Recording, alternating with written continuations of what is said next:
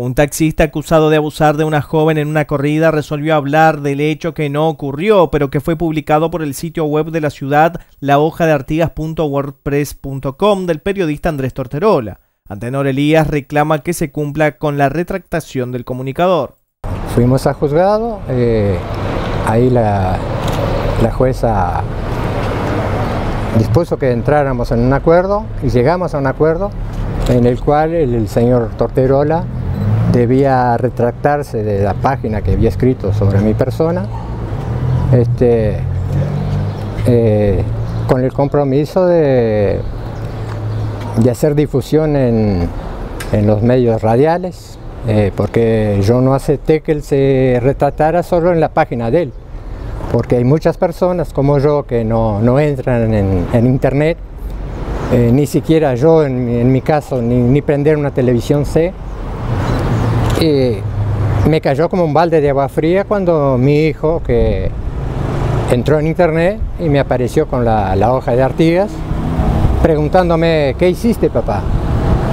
Sí, yo le pregunté de, qué me, me, hablaba.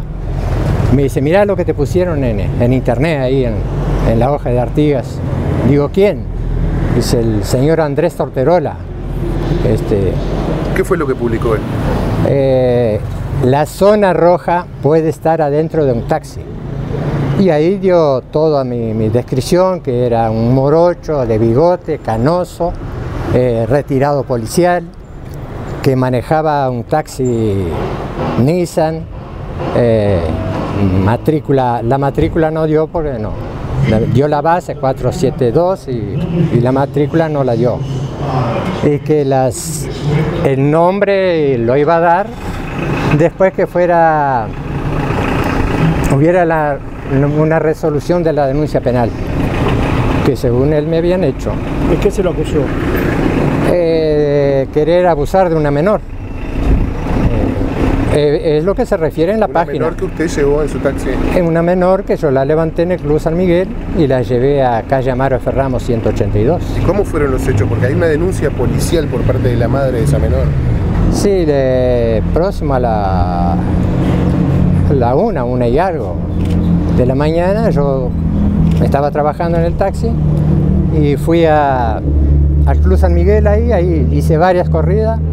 Cuando vengo para ver si había algún otro pasajero, sube una muchacha que ni me fijé, si era menor o no era.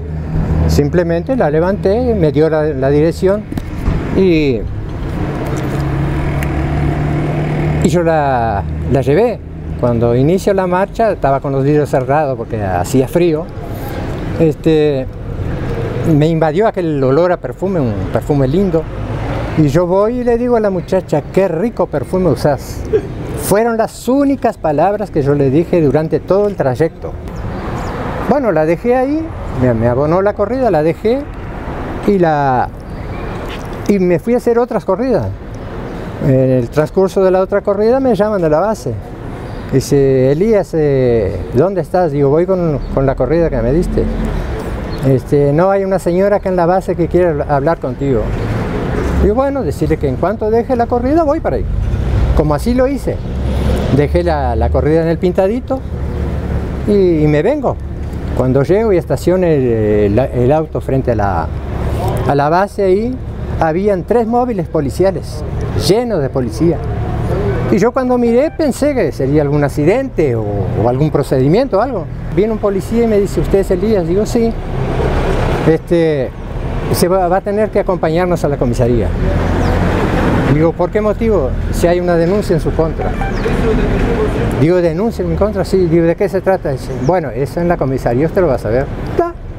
Ningún problema. Cerré el taxi y los acompañé.